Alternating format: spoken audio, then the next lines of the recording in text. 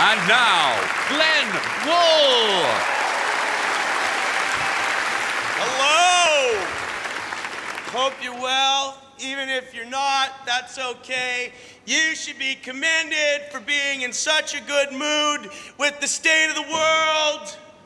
Technology is getting on top of us. Do you realize we are the first and only generation who's ever been able to say the phrase, I've lost my phone?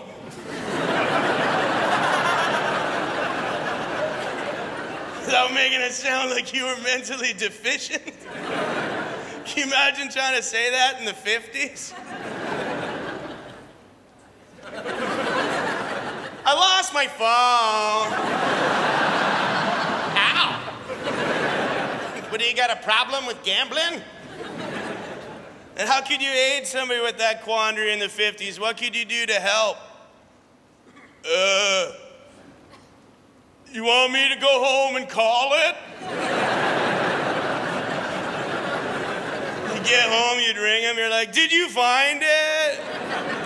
yeah, it was on the wall.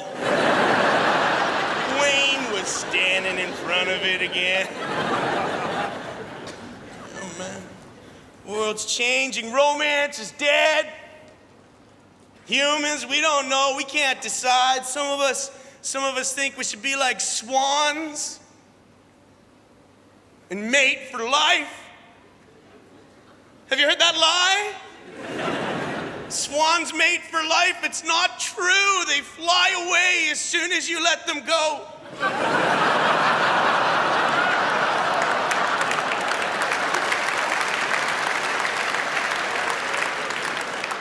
With the look on their face, it suggests they're not coming back.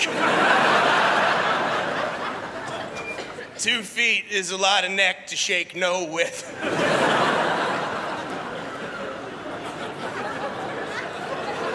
I have the physical ability to turn around and look at what's happening, but I don't want to. Never take bread from a man with a little hat. It just makes you sleepy. Folks, you've been wonderful. Been Glenn. Good night.